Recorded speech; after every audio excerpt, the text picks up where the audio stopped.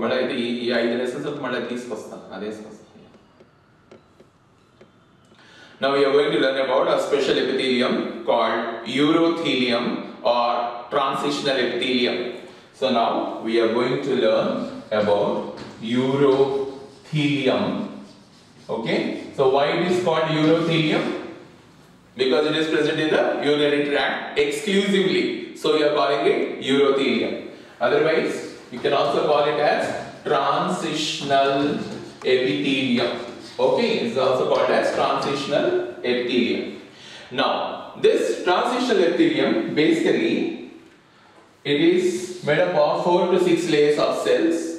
Now, the first layer of cells which is present on the basement membrane, they are called low columnar cells or cuboidal cells. So, they can be columnar cells, the columnar cells which are towards the base or they can be cuboidal cells which are present. Okay, so here you have got the nucleus which is present the cuboidal cells or the columnar cells which are present on the basement membrane. Above them, you have got two layers of polyhedral cells or you call polygonal cells. What do you mean by polyhedral or polygonal?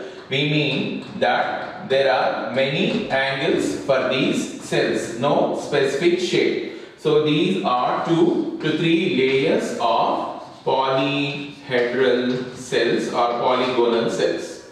Above these, you have got cells which are larger in size and also have two or three nuclei. Sometimes, generally, when we talk about cell, it has got only one nuclei. But these umbrella cells, they may be multi-nucleated. So these topmost cells which are present are called umbrella cells or pear-shaped cells, whatever it is. So you have got 4 to 6 layers of cells. Out of these 4 to 6 layers, the basal cells are columnar with a nucleus. The two layers are polygonal or polyhedral. Above them you have got the umbrella shaped cells. Please look at the board.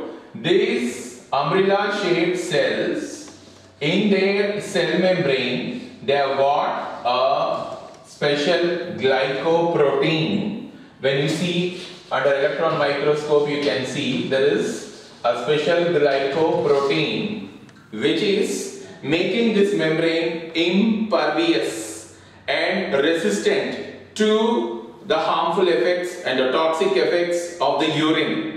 Now you know the urothelium means what? The epithelium which is present in the renal calyces, renal, pelvis, ureter and urinary bladder.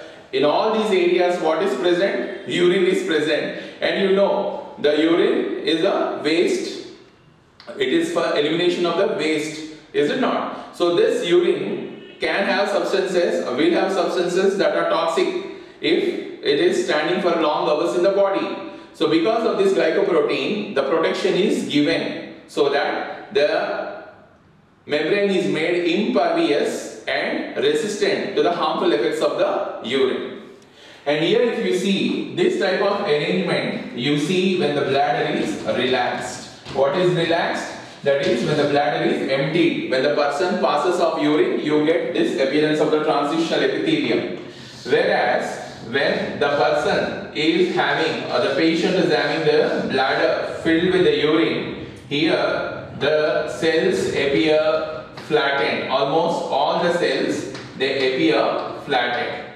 So this flattened appearance of the cells you will get when the urinary bladder is stretched. What do you mean by stretched?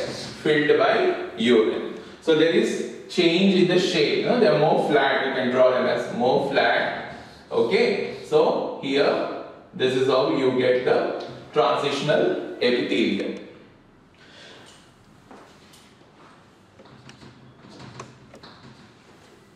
Thank you.